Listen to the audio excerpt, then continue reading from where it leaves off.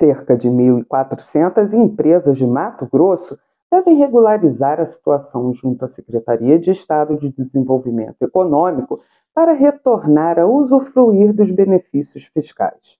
Eles foram suspensos pela falta da entrega do relatório de monitoramento anual pelos beneficiários do Programa de Desenvolvimento Industrial e Comercial de Mato Grosso, o PRODEIC, do Programa de Desenvolvimento Rural de Mato Grosso, o PRODER, e do Programa de Incentivo à Cultura do Algodão de Mato Grosso, o PROALMAT. Nos últimos quatro anos, o Estado concedeu 16 bilhões e 900 milhões de reais em renúncia fiscal e isso gerou investimentos privados em Mato Grosso de 58 bilhões e 700 milhões pelas empresas beneficiárias.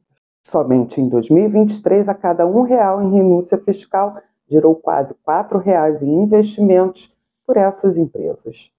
Cristiane Coelho, para o 90 Segundos.